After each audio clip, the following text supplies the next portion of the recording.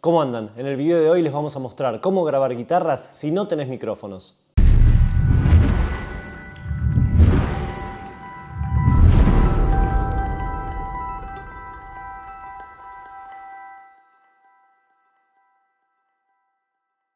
Supongamos que tenés un sistema estéreo como el que pueden ver acá atrás, que está constituido por dos cabezales, una raquera, así un montón de efectos, pedales que van por adelante del amplificador, racks que van por el loop de efectos y mucho más, y querés grabar en estéreo. Si es un sistema complejo, esto te va a requerir el uso de varios micrófonos, especialmente si sos como yo y te gusta usar dos o tres micrófonos por caja, y luego vas a necesitar preamplificadores de micrófono profesionales, una interfaz de audio que te permita conectar todos estos preamplificadores, todos estos micrófonos, sí, básicamente mucho pero mucho hardware vas a necesitar para grabar un sistema estéreo sin ningún problema. Lo bueno es que tenés una opción para poder grabar un sistema estéreo mono o lo que sea, pero en este caso nos enfocamos en un sistema estéreo y complejo. Si no tenés micrófonos, no tenés preamplificadores especiales ni nada por el estilo. En este video te lo mostramos bien en detalle. Lo que vamos a necesitar para hacer este tipo de grabación son obviamente dos load boxes. En el caso de este video vamos a usar la Sur Reactive Load y el Captor de Two Notes. Ahora te mostramos exactamente cómo van a ser todas tus conexiones. Lo más importante que tenés que tener en cuenta es que la conexión de todos tus efectos adelante del amplificador y por el loop de efectos no se va a modificar en lo más mínimo. Lo único que vas a cambiar es la conexión que va desde cada cabezal, ¿sí? desde cada amplificador hacia su caja correspondiente. ¿Por qué?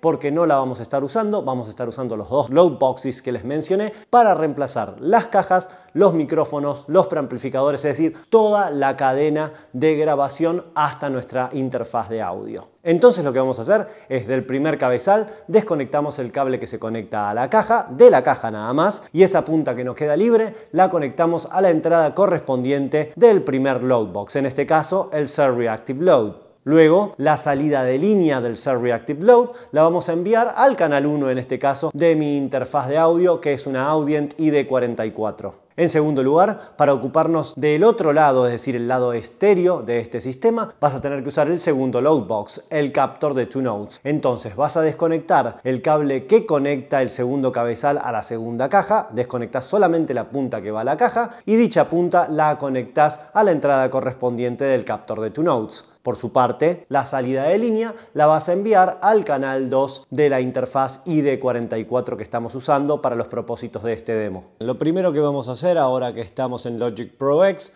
va a ser habilitar dos canales para la grabación en estéreo.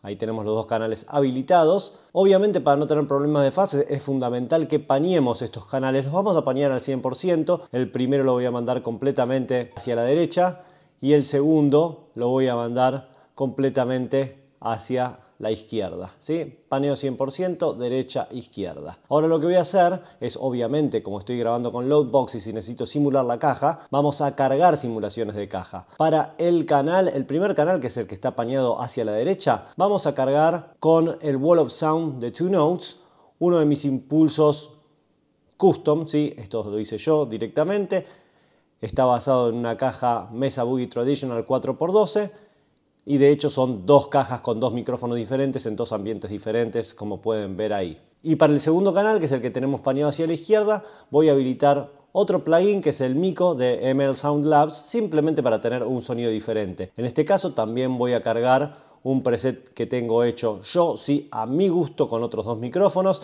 y con otra caja. Ahí lo tengo cargado. Una vez que tengo estos dos plugins cargados, simplemente pongo a grabar.